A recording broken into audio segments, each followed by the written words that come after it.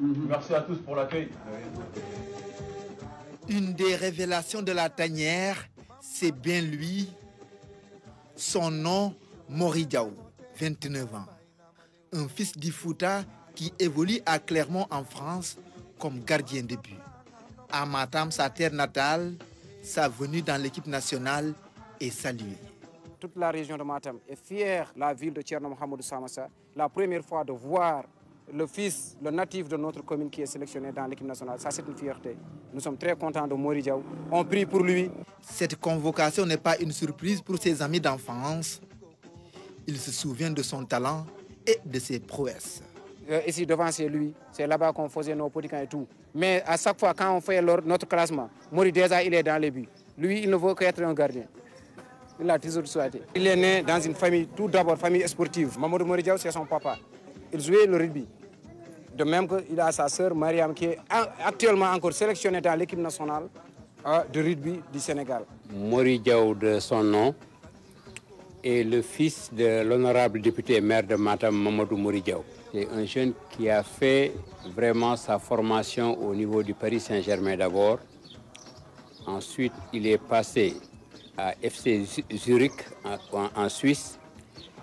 Il a fait également le club de Lausanne en Suisse avant de rejoindre donc en 2022 l'équipe de Ligue 1 française qui s'appelle Clermont Foot. Mori Diaw, c'est aussi un jeune attaché à ses origines. Le Sénégal c'est ce qu'il a de plus cher. Porter le maillot national a toujours été son rêve. Chaque vacances, quand euh, il, prend ses vacances, il vise directement au Sénégal, particulièrement dans sa commune de Matam.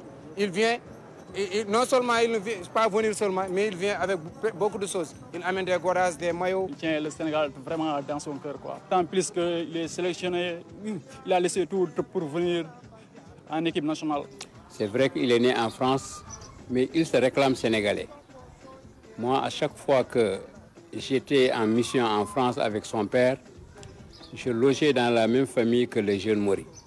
Et à chaque fois, il nous disait que moi, je n'attendais que le coach du Sénégal pour pouvoir venir porter les couleurs de l'équipe nationale du Sénégal. D'ailleurs, même euh, le dernier, le dernier camp, on l'avait invité à la RTS. On l'avait invité à la RTS pour lui poser des questions. Eh, est-ce que tu joueras en France? Il a dit sauf si le Sénégal ne m'appelle pas. Donc ça prouve qu'il aime son pays. Pour cette première convocation en équipe nationale, toute la région de Matam en est fière.